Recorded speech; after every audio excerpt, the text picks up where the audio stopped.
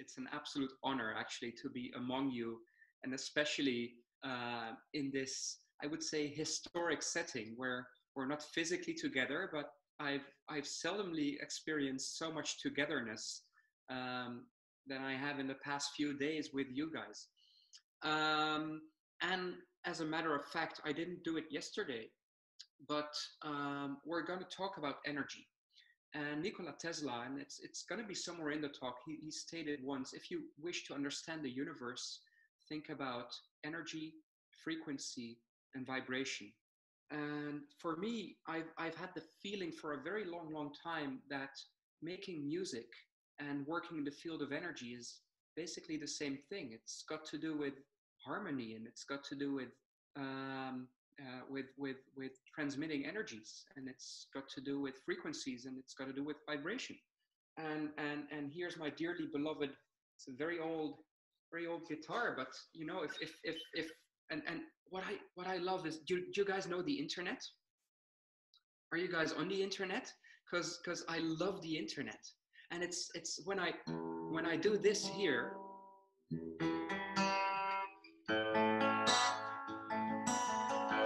there's a transmission of frequencies that is going that's digitalized on the one end and then it's it's actually turned into an acoustic signal on your end again wherever you are in the world and whichever time zone you're in you're hearing this chord. And i love that because it's interconnecting all of us in a far more physical way than we than we than we deemed possible a couple of years ago. Um, so well this this is my passion and uh, and energy is my passion also and cycling because i'm half dutch. Um, so rethinking energy. And first off i i, I wanted to start with this slide uh, uh, which which which i love. Um, where is it? Let me see. Ah there it is. Um, there cannot be a crisis this week because my schedule is already full which ones of you have ever experienced a crisis? And I, I, used to ask this question to, to audiences, and by now I know that all of the audiences that I'll be in have once experienced a crisis, the one that we're in right now.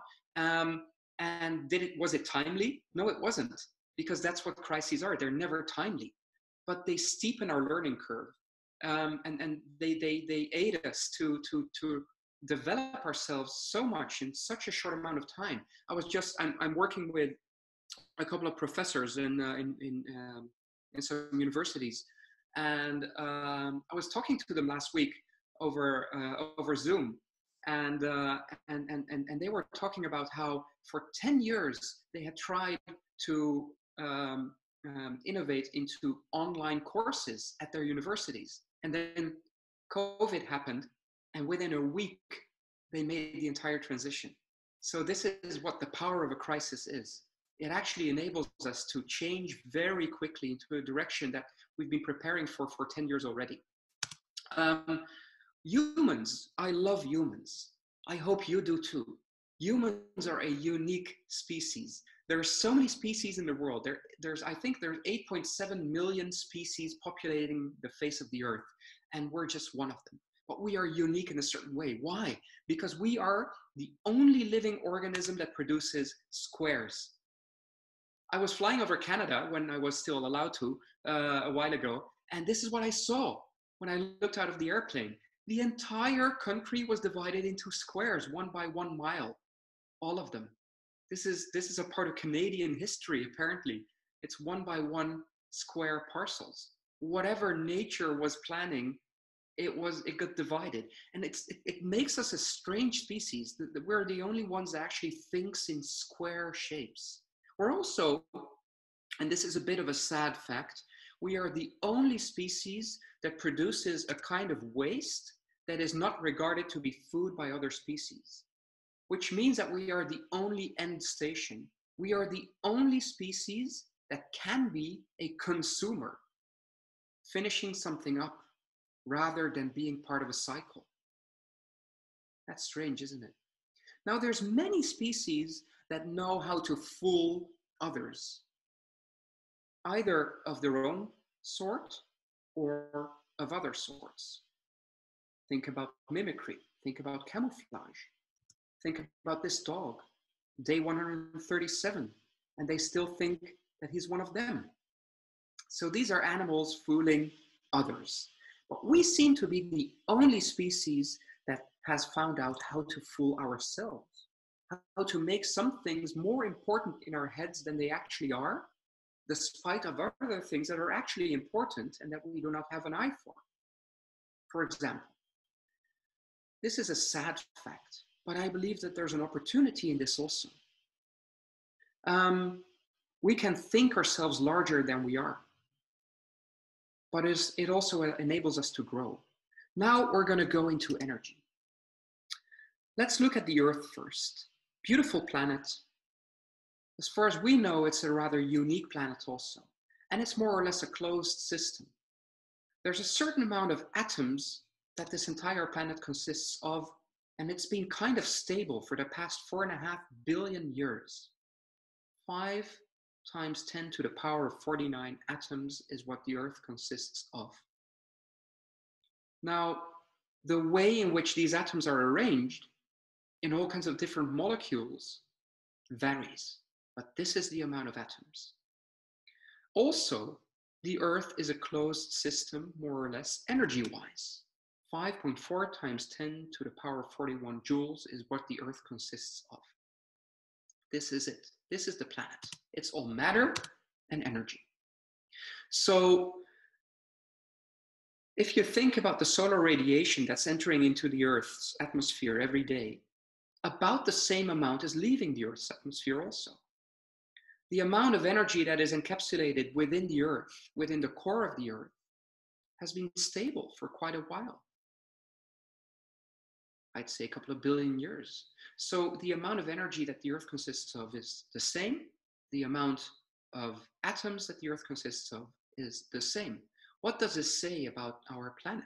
What does it say about us? What does this say about our economy, where we think about growth? It actually proves the Club of Rome right. There are limits to growth because we not, can, cannot grow the amount of energy on Earth. We cannot grow the amount of atoms on Earth. The only thing that we can do, and this is something that was stated by Lavoisier, a French scientist, um, in, in the 1700s. In nature, nothing is created, nothing is lost, things only transform. So, all our growth, all our progress as humans has not to do with creating stuff out of nothing, it has to do with transformation. And this is exactly what we are about. We are the transforming species. Tesla, I already mentioned it, said if you want to find the secrets of the universe, think in terms of energy, frequency, and vibration. I just love this quote energy, frequency, and vibration. seems like everything has to do with that. Now, energy. What is energy? In 2006, I actually started as an energy professional um, after uh, some, some, some trials and errors in the uh, online tech industry. And, uh, and after some trials and errors as musicians also, actually. So I worked as a musician for a couple of years. Now, what is, what is energy? I asked this question to my professional colleagues that had been within that company for years already. Answers that they gave kind of sounded like this Spanish answer. Um, we don't know what energy is. Even the energy professionals among us oftentimes do not know what energy is. Why?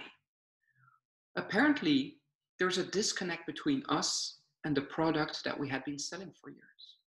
And this is really interesting because I've been in many, many rooms all over the globe in the past years. And I've been asking this question so often. And there's so many knowledgeable people, energy professionals in the room, and hardly anyone gives an answer. And this kind of tells us also that we are not in the position to talk about whether somebody's using a lot of energy or very little energy. We are not, we, we, we do not hold the wisdom on, on energy. We do not understand our product yet. Energy, if you think about it very long and very hard, so hard that you're going to try and make it simple, you're not going to end up saying energy is E equals mc squared because then I'm going to ask you, explain that then and then we're going to get stuck again. Energy, very simply put, is the ability to do work. Scientifically correct would be the ability to do work over time.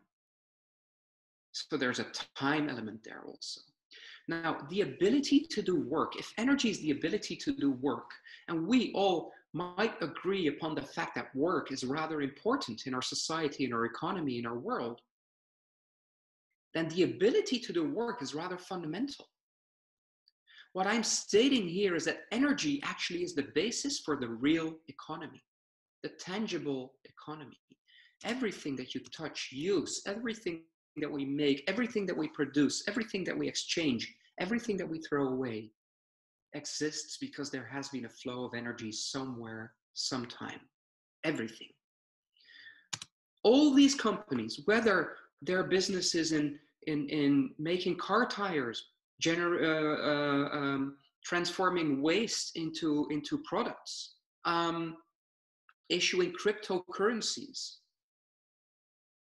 um, broadcasting puppies and kittens videos on the internet whatever business they're in, they can do that business because they are using energy in a process, transforming it from one form into another. It's fairly easy to run an energy system without a bank. We think that money is important, but have you tried running a bank without an energy system? It's impossible. Energy is the fundamental element in everything that we create that is deemed of value by somebody. Also, I'm stating that all energy on Earth actually is solar. All of it. Of course, the sun is emitting solar energy to the Earth. That's an obvious one. But think about the wind. Wind exists because of solar activity and, and, and because of the revolving of the Earth around the sun geothermal energy actually can be considered solar energy because the Earth is actually a little bit of sun that was spewed out four and a half billion years ago. So there's a bit of sun encapsulated within the Earth. And it's that energy that's being emitted through geothermal energy. Oil and coal and gas are forms of solar energy. Why?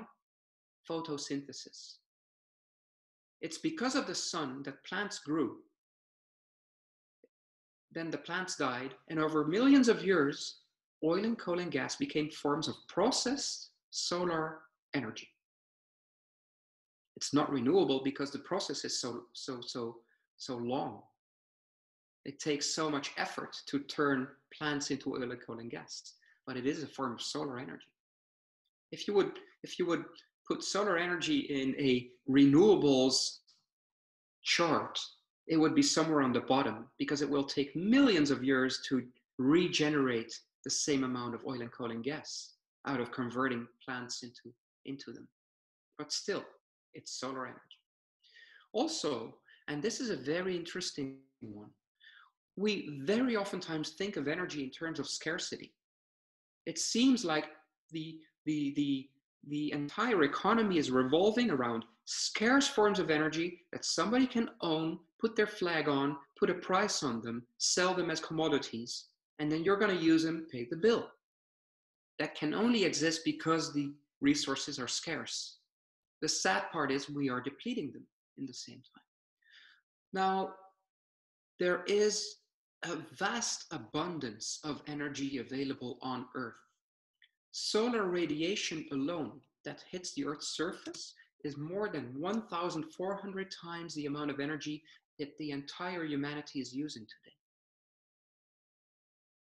This actually is, it's, it's easy to explain in, in an image that I haven't used in this keynote, but this means that if the surface of Spain, I'm sorry, Daniel, is covered by solar panels, then they will generate enough energy, not only electricity, but also, but also heat, all the energy that we need for our mobility, for our industries. Enough energy comes from the surface of Spain to power the entire Earth, all of humanity. And Spain is only one thousandth of the Earth's surface, 500,000 square kilometers. That's it. So there's a vast abundance what we need to learn is to tap into that abundance, to harvest from abundant resources rather than scarce resources, But this requires something much, much bigger than only a shift of technologies. I'll get to that later. Energy and peace and energy and conflict are very closely related. This is the Global Peace Index, which is a beautiful data set, very elaborate, issued every year. Basically, it says if you live in a green country, you're really lucky to be living there. If you live in a red country, or you're gonna do everything within your powers to live in a green country. Everything. Now, if you're plotting the places on Earth where we are deriving the most energy from. It's usually in the red and orange countries. And why? Because energy and conflict are very closely related. And why is that? Because most of the energy that we are using on Earth today is ownable. And if somebody owns an oil field, somebody else will want to own that oil field. So be it for political reasons, commercial reasons, personal reasons, there will be conflict because somebody is owning a piece of land. Now, what is ownership on this earth that is four and a half billion years old? And we live only 80 years. What is ownership? So when we shift from ownable resources to non-ownable resources like the sun, like the wind, abundant resources like geothermal energy, then also the face of the earth will change in terms of geopolitics. The face of the earth will change in terms of conflict. Most of the conflicts of the past century were fought more or less over energy resources. South Sudan, the South Chinese Sea, Mali, Niger, Nigeria, Russia, the North Dakota pipeline. I could go on and on and on. This image is very special and very dear to me, and it was actually given to me by um, somebody that I met at, at an EBBF event years ago when they were still held in the Netherlands, 2006 or 2007, and it was Lawrence Stout. At that time, he was the director of the Irish Energy Institute, and he asked me, What do you see here? And what we see here is a timeline and a peak. And what does it say? This is fossil fuel consumption by humans throughout our history and future. This shows so much. This, for me, was a paradigm shift personally. Why? Because it shows that we refer to oil and coal and gas as conventional energy. But over our history, when we zoom out, it's actually alternative it is an alternative to renewables that we have always used to fulfill some short term needs that have enabled us over the past 150 years to progress really, really quickly, become very mobile, become very productive, become very smart. And we have to thank fossil fuels for that. And we are here now. We're on the verge of making this immense move all the way back to 100% renewables. Why? Because on the one hand, we are depleting resources. We're using fossil fuels one million times faster than the earth is generating them. One million times faster. So that's some serious depletion. But also, I think that we are finding something better than fossil fuels. And what is the beauty of that? The beauty of that is um, by finding something better, we don't need to deplete fossil fuels to the end. We're shifting to other forms of using and generating energy in the meantime. There's a beautiful precedent to this also. The Stone Age did not end because we ran out of stones. I think we did find something better than stones. Same will go and goes for energy today. The energy transition is so much more than technological innovation alone. Of course, technology is a very important part of the energy transition. Shutting down coal fired plants and replacing them by solar fields, for example. But what about the economical transition? Because renewable resources can be applied by anyone to, to generate energy out of, anyone. You and I from our rooftops, our gardens, and even the shares that we can hold in wind farms somewhere else, the geothermal pits that we may dig. enable all of us to generate energy out of resources that might be non ownable and that will provide us in what we need. This actually makes a huge economic shift. Sec- the third is societal, because it also bears us with responsibilities. If we can make something that was controlled by big powers somewhere else, and we can bring it into the market, bring it into the society, bring it into the economy, then this changes a lot. And fourth, last but not least, uh, there's an institutional change embedded within the energy transition also, because the laws of yesterday cannot do with the energy system of tomorrow. There's four big trends that have to do with this energy transition also. The one is we're moving away from volume based businesses to value based businesses. It's no longer about how much I've been able to sell to you guys, it's about the amount of value that this transaction has created on a systemic level. So it's pointless to be proud of the fact that I've sold 1 million kilowatt hours because what has been done with them? From scarcity to abundance is another trend. Scarcity based models are very closely linked to ownable, scarce, depletable resources. But if all energy would come from the sun, wind, waves, insides of the earth, then suddenly the entire model is changing because it's abundance based. It also implies that ownership is no longer a requirement. Interestingly enough, the more abundant it becomes, the less interesting it becomes to own it.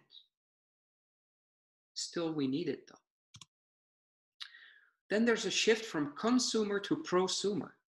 We, as humans, finally can be one of all the other species on the face of this earth and no longer consume energy. All of us have something that we need and something that we can give so we become prosumers, producers and users at the same time. Fourth, centralized models are shifting into distributed models.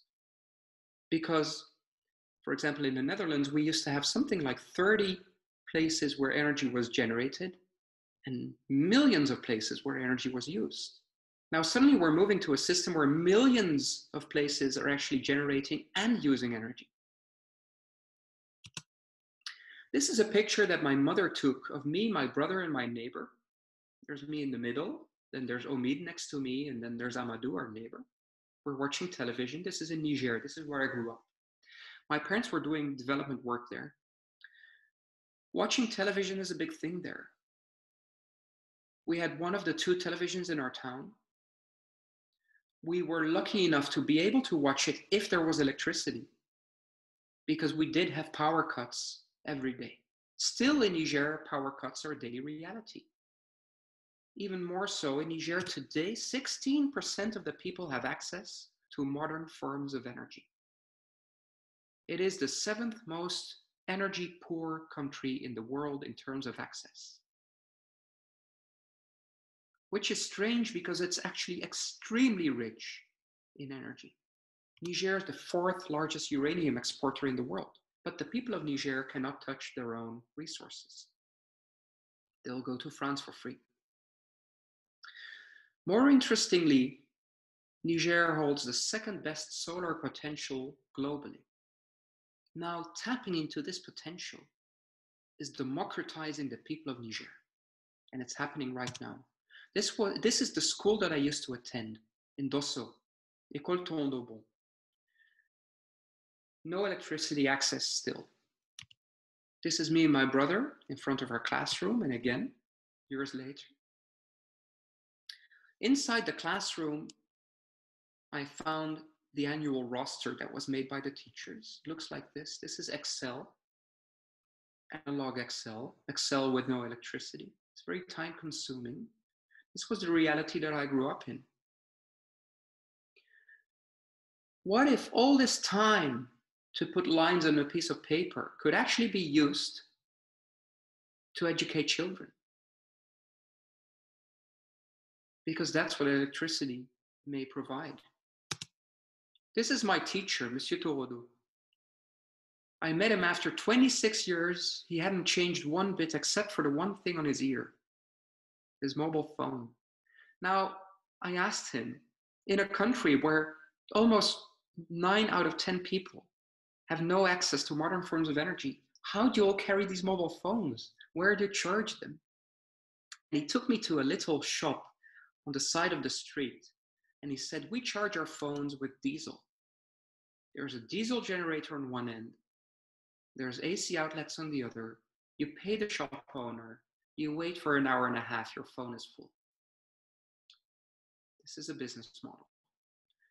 It's a sad business model because there's a diesel generator. For me, it's a litmus proof of, of a, a litmus test of, of poverty if people in the street know the diesel price. Now, all these kiosks by now are one by one being converted into solar. And what difference does that make? The difference that it makes is that roughly you require the same investment in solar panels as this shop owner would require in a diesel generator. But after that, he no longer has to buy diesel on a day to day basis. The sun is shining for free and he can run his business. His income is actually increasing by 30% by this transition alone. The mobile phone grid in Niger, for lack of a physical grid interconnecting the country, is actually solar powered because this was the only technology that lent itself for a quick rollout of mobile telephony.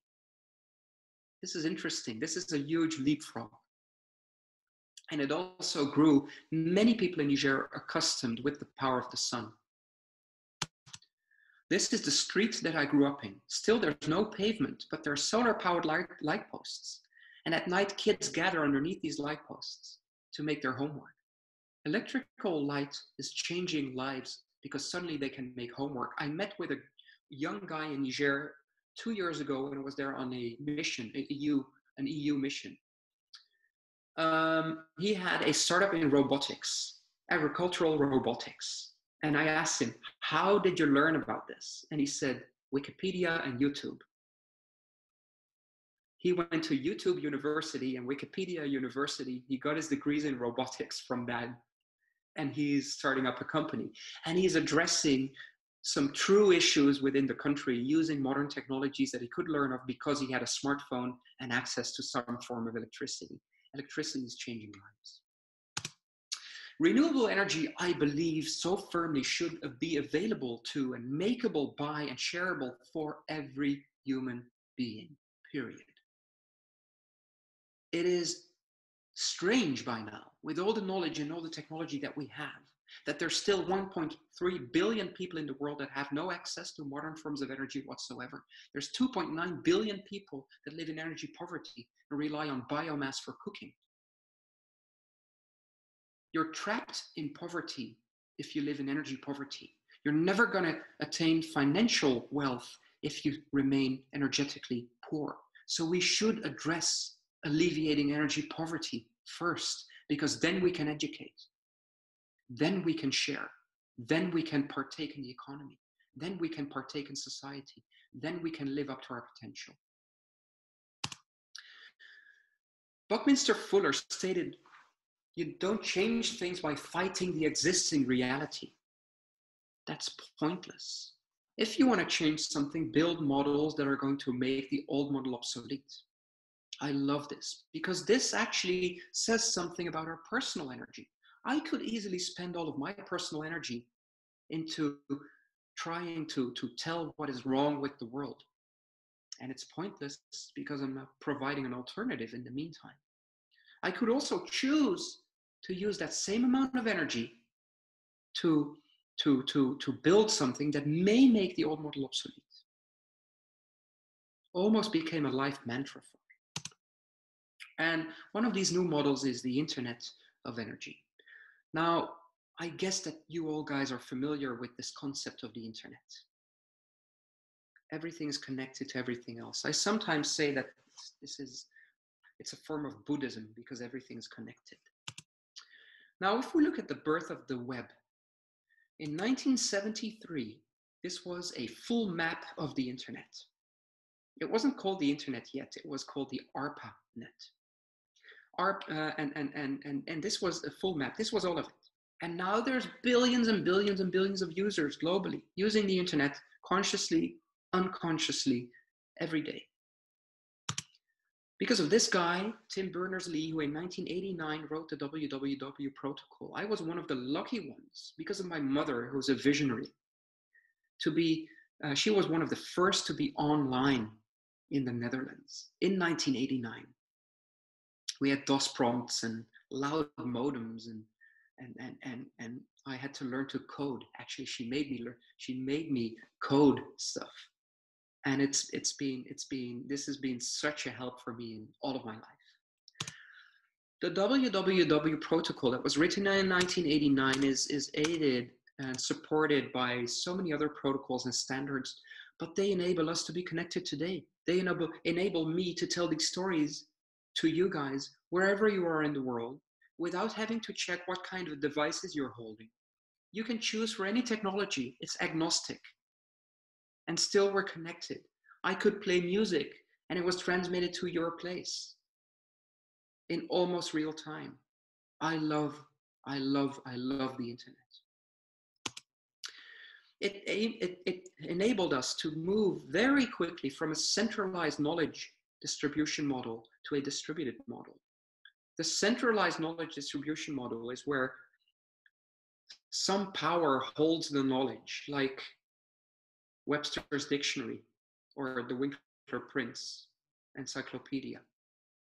And by now they've been reduced to a pile of biomass in our in our in our cupboards, in our cabinets. Why? Because because we don't have to go through the publisher anymore and wait a couple of years for the new release of the dictionary to, to find some changes. We're on Wikipedia now.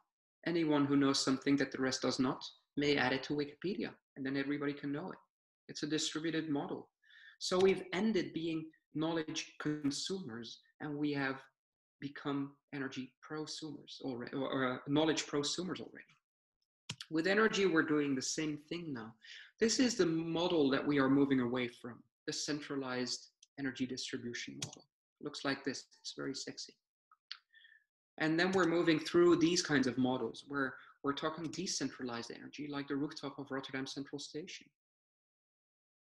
And then through this, we're moving to an entirely interconnected system called the Internet of Energy, where you can no longer see whether somebody is a producer or a consumer. Everything is everything.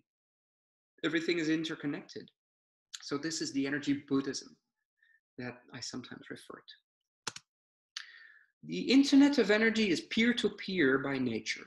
It's balance seeking like everything else in nature.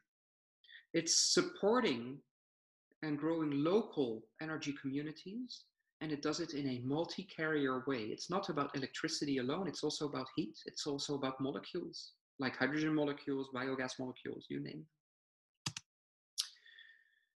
So building up local energy communities, and it has to do so much with optimizing energy flows. Why? Because energy, energy is a game of loss mitigation. You want to lose as little as possible between the resource and use. So the more locally you can use energy, the more locally you can generate it, the less you have to transport it, the less you have to convert it from one form in, into the other, the less you have to store of it, the more you're going to end up with at the end of the line. So it's optimizing, it's an optimization game. And we're using digital technologies for that.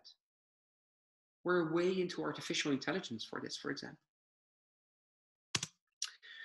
And one of the big drivers for the Internet of Energy is the Internet of Things. Today already, over 10 billion devices, apart from our laptops and phones, is connected to the internet. I know for a fact that all of these devices can use energy. They all need energy. Many of these devices are generating energy in one form or the other. Every solar panel, almost every solar panel is an IoT connected device, for example. And many of these devices actually have energy as a residual flow, like the secondhand heat that escapes from my from the back of my fridge. What if I can capture that heat and use it for something else? What if the back of my fridge actually might help my oven to be a little bit more effective? And you're going to get all these very, very smart systems. On the Internet of Energy, every connected user is going to be exchanging energy with one another. It's going to be peer to peer. It's going to be from every resource that you can think of in every suitable form. And it's going to be utilizing intelligent grids. In four Ds, the Internet of Energy can be, can be uh, um, explained as distributed, digitalized, decommoditized, because it's not about volumes anymore. It's not about selling stuff anymore. And democratized, because it's everybody's or it's nobody's. To me, that's the same thing. Now we know that on the internet, we're using the HTTP protocol a lot. Hypertext Transfer Protocol. I would love to see that on the Internet of Energy, we're going to use the PTTP protocol, standing for Power to the People.